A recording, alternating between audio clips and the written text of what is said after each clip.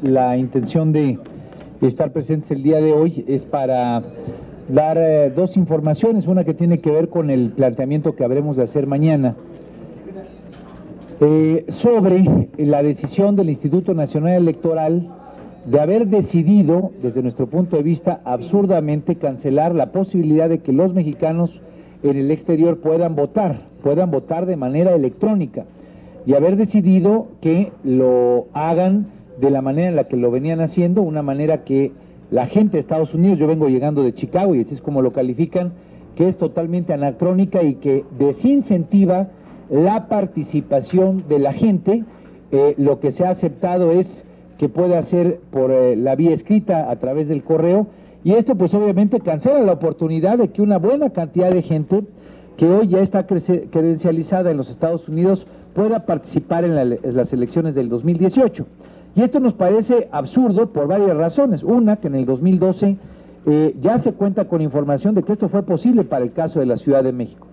Pero, pues es incongruente que el Instituto Nacional Electoral diga que no contaba con presupuesto suficiente para hacer algo tan importante que fue parte fundamental de la reforma política que se publicitó por parte de este Senado de la República en el 2013 y por otro lado, para este año tenían 1.070 millones de pesos asignados para un edificio que a final de cuentas terminaron cancelando y donde ese recurso se terminó utilizando para otras cuestiones. Qué bueno que se utilizó para el tema de los consulados, pero eso habla de la falta de voluntad real de presupuestar y de generar las acciones propicias para poder garantizar el voto de los mexicanos en el extranjero a través de la vía electrónica. De tal manera que el día de mañana exigiremos eh, de manera profunda, fuerte, que esta decisión que ha hecho pública la echen para atrás. No es posible que en este momento en el cual necesitamos darle voz, necesitamos darle presencia, necesitamos darle atención a nuestros connacionales que viven en los Estados Unidos, pues hoy el Instituto Nacional Electoral, que es el que ha venido generando las capacidades para que sean identificados a través de la credencial de elector, le resten la posibilidad de incidir en la elección. Parecería más bien que es un miedo a que ellos vayan a votar en algún sentido, que se vayan a manifestar en contra del sistema. Quiero eh, pensar que esta no es la razón, de tal manera que nuestra posición en el punto de acuerdo que estamos planteando es eh, exhortar al Instituto Nacional Electoral a rectificar su decisión de eliminar la opción de voto electrónico, resultado del acuerdo de la última reforma política, así como establecer mecanismos de comunicación con este Senado de la República con el objeto de generar condiciones de participación de la comunidad de mexicanos en el exterior en las próximas elecciones federales del 2018. Esto fue uno de los planteamientos que ahí en Casa Michoacán nos hicieron saber a varios senadores y senadoras que estuvimos presentes en el evento de Operación Monarca y de Agenda Migrante y es una de las principales preocupaciones que hoy están exhibiendo. Eh, son, y solamente por mencionarlas a ustedes, Coalición por los Derechos Políticos Plenos de los Mexicanos en el Exterior, Casa Aztlán, Red Unida de Inmigrantes y Refugiados, el Comité de Cial, Hermandad Mexicana, la original, Coordinadora Nacional por una Política Justa de Inmigración, GLAR de Atlanta, Federación de Morelenses en Illinois, Comité 2020, la Comisión por los Derechos Políticos de los Mexicanos en el Exterior, del IME Capol, Alianza por los Derechos de los Inmigrantes, lista en formación en otras, entre otras. La eh, cuestión eh, es exigirle al Instituto Nacional Electoral, pues que no eche para atrás algo que le mandató este Senado de la República en la reforma del 2013 y algo para cual la evidencia clara de que jamás tuvieron la intención política de presupuestarlo, pues es el hecho de que regresaron 1.070 millones de pesos para un edificio que todos cuestionamos, que todo el mundo puso en evidencia que no era necesario y abandonaron la idea de presupuestar, en este caso, el voto por la vía electrónica.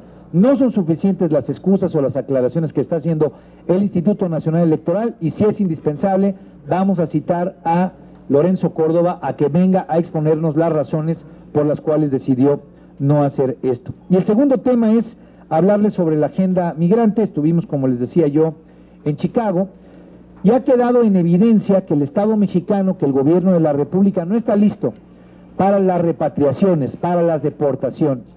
Hoy el único programa que existe es el que se llama Todos Somos Mexicanos. Escuchamos de parte de varias personas, representantes de distintos estados de la República, que este programa es insuficiente, que no cuenta con recursos y no cuenta con una capacidad suficiente para poderle darle atención inmediata a aquel que está regresando a los 11 puntos de retorno. No hay capacidad de darle atención psicológica, eh, atención de en dónde podría incorporarse a la vida productiva. No hay una coordinación del Instituto Nacional de Migración con el Sistema Nacional de eh, el Empleo. No hay cosas mínimas que hoy el Estado mexicano debería estar posibilitando para los migrantes en retorno. Tener, por ejemplo, un módulo del Instituto Nacional Electoral para garantizar que esa gente que regrese y que muchas veces está siendo deportada y no cuenta con ningún documento de presentación pueda tener de manera inmediata una credencial de elector, que podamos inmediatamente recibir a esa persona y darle una identificación de quién es esa persona que está regresando a su país, a territorio mexicano. Un programa que más allá de la incorporación al Seguro Popular nos permita que el Instituto Mexicano de Seguridad Social garantice la formalización de ese actor que lo que queremos es que se incorpore de manera formal a la vida productiva. Hoy está solamente el Seguro Popular. Necesitamos un esfuerzo extraordinario. Ahí me parece que es importante coordinar el esfuerzo con la iniciativa privada para garantizar que el Instituto Mexicano del Seguro Social los esté incorporando precisamente a, eh, su, eh, a sus listados de formalización.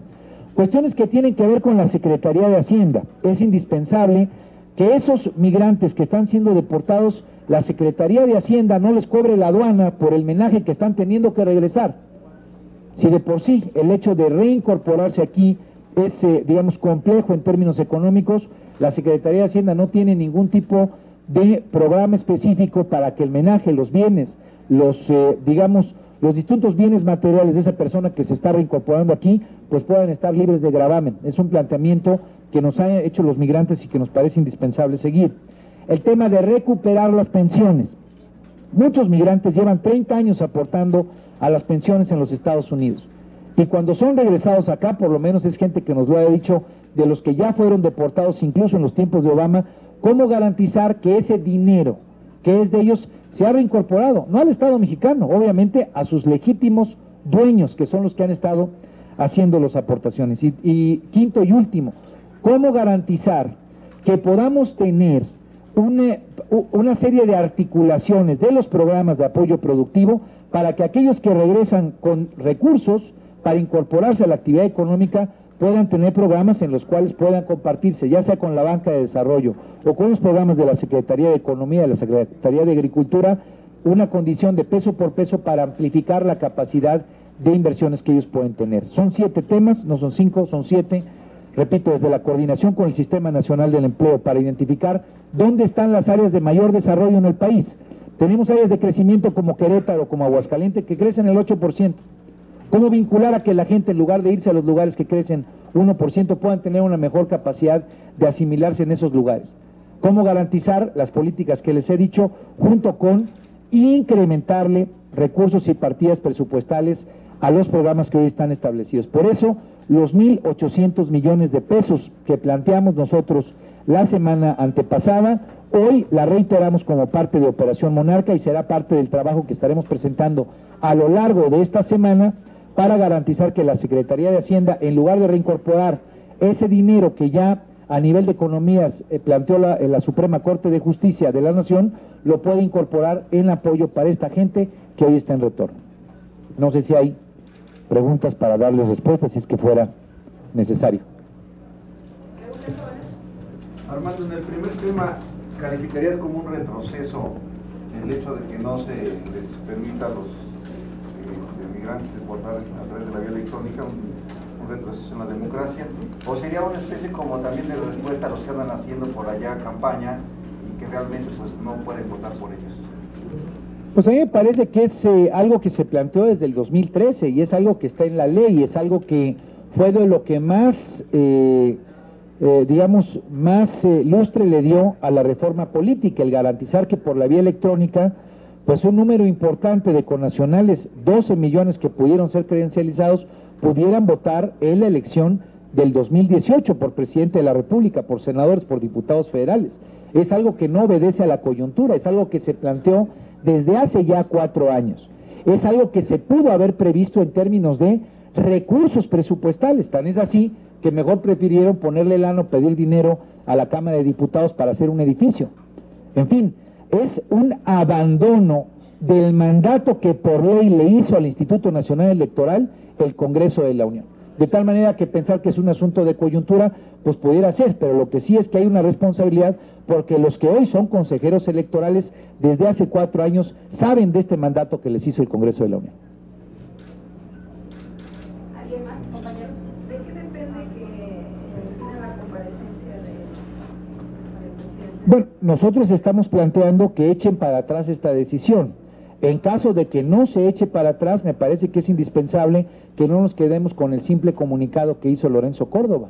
Él tiene que explicar por qué prefirió priorizar construir un edificio en lugar de un mandato del Congreso. Me parece que las preguntas, además de todo, son muy claras y son muy nítidas. Entonces, yo espero que esta decisión la echen para atrás. Me parece que tienen tiempo. Si no, lo que va a quedar es la percepción precisamente de que lo que están evitando es que la gente allá en los Estados Unidos vote por alguien. Como hoy todo el mundo anda haciendo trabajo político en los Estados Unidos, no creo que tenga un sesgo en particular. Lo que sí es que se evidencia que el sistema no está dispuesto a salirse de la inercia cuando responden que la gente mejor vote por la vía de las cartas, por la vía escrita, que ha demostrado ser un fracaso porque los porcentajes de participación han sido realmente mínimos. Mil gracias.